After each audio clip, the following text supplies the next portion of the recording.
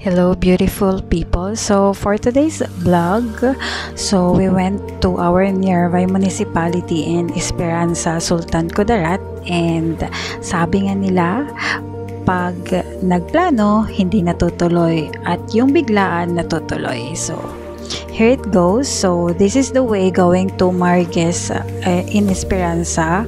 It is a swimming pool which is there is a hot and cold spring. Actually, it's a lukewarm and uh, tara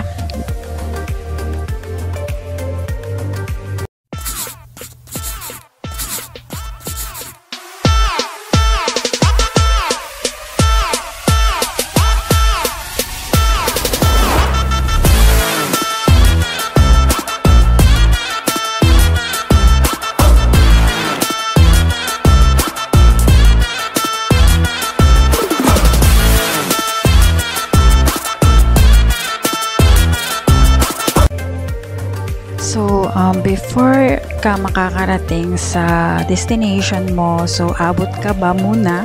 Because uh, this way is a prone accident area and sobrang taas po ng um,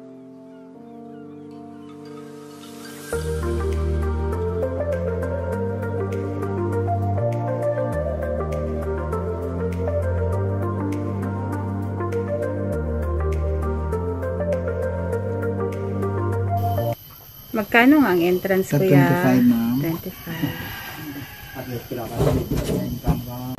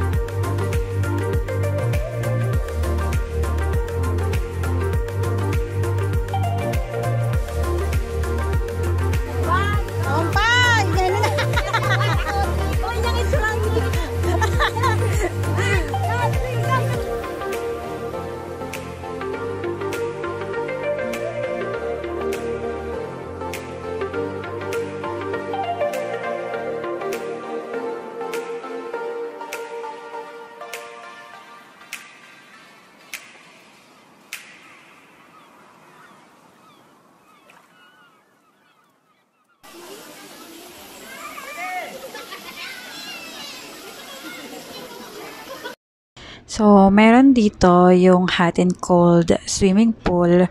Actually, it's not that hot. It's actually lukewarm and sobrang ang gandang maligo. Kasi malamig dito na part. Sobrang taas na po kasi dito.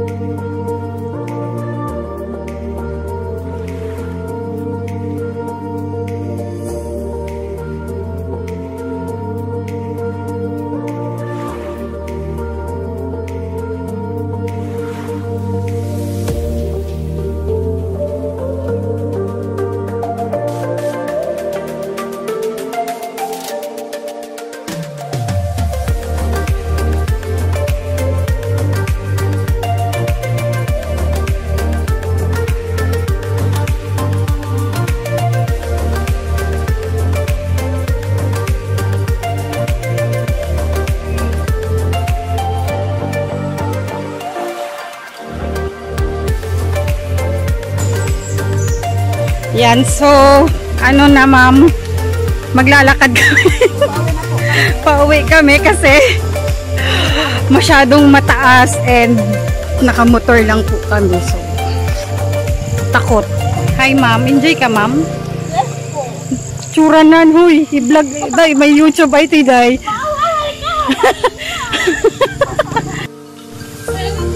Dugong. Ingat, ingat. Maglakad na lang muna kami. Po ay naglakad muna kasi masyadong mataas. Takot po ako.